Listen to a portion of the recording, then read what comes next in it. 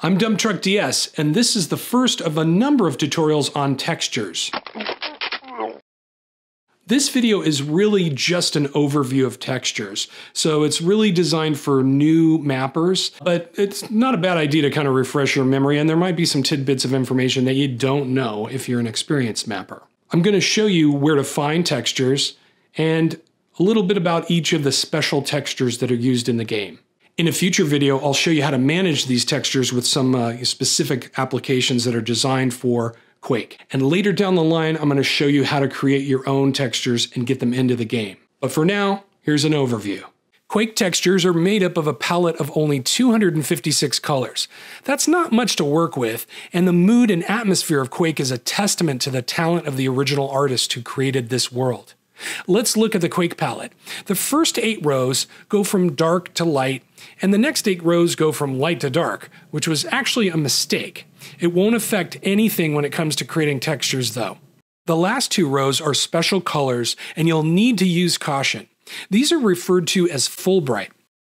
In the game, these colors will display at the full brightness no matter how dark or light that area of the map is.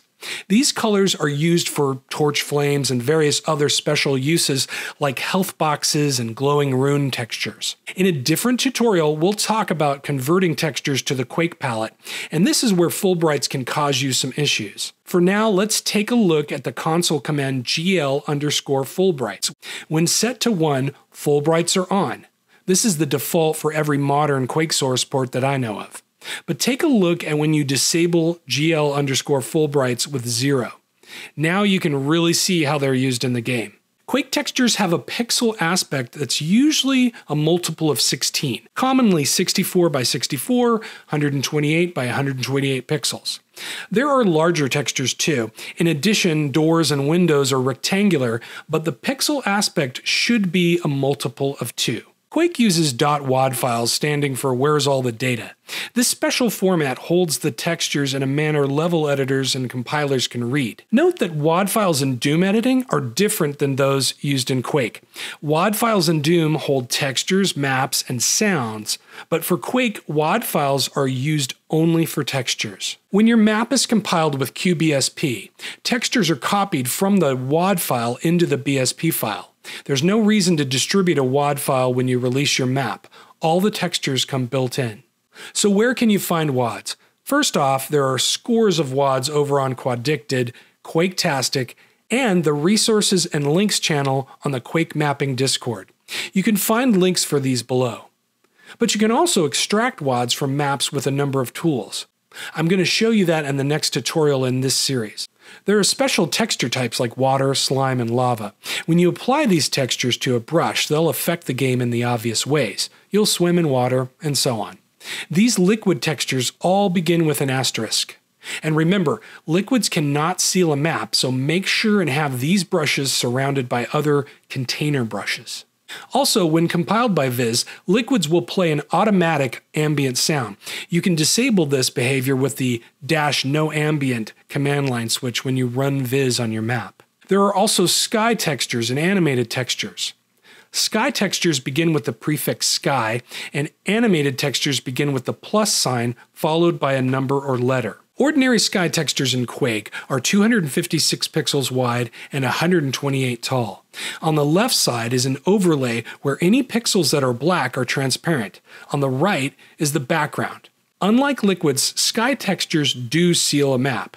One thing to remember is not to have a sky texture touching a liquid texture. That will cause errors. Most modern Quake engines can also use skyboxes. These are covered in my skyboxes and fog tutorial. There's a link below. Animated textures can have different sequences like this button's red pulse before being pressed, and then its yellow textures after being pressed. These animated textures cycle through frames starting with plus zero in numerical order. When the button is triggered, it switches to plus A. Once switched, you could have another alternating animation starting at plus A and continuing through plus J. Animated textures are usually found on func_buttons, but you can use them on func_walls and func_doors as well. The clip texture is invisible in game, but it's an important tool in making maps. You should clip areas of the map where players can get stuck on complex geometry or keep monsters and players from crossing a certain boundary. Clip textures will not seal a map, so keep that in mind. If you haven't seen the tutorial that covers clip texture, that's linked below as well. The trigger texture is only used in Quake level editors and are invisible in the game. The skip texture wasn't used in the original game, but was added by modern compilers to hide unwanted faces for use in specific situations like windows and other map hacks. One way you can use skip is over a gap in the floor where you'd like a monster to traverse. Monsters ordinarily will not walk over gaps due to the way collisions are calculated in the game. Using a skip texture is a trade off as it blocks projectiles, so keep that in mind. Skip textures are used in the compiling phase only, so you'll need a tool that supports that. Right now, ericw's tools are the de facto standard for Quake 1 compiling, and skip textures are supported. In fact, you can use water skip, lava skip, and slime skip textures with ericw's tools. And last but not least are fence textures. These textures were not in the original game, but most modern Quake engines will support these. Fence textures use the last color in the Quake palette to create transparent areas. These textures begin with the curly bracket character. You can use these for vines and other interesting elements in your map.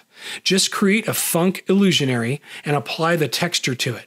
You'll need to use skip textures on the edges and make the brush one unit thick so it looks correct in game.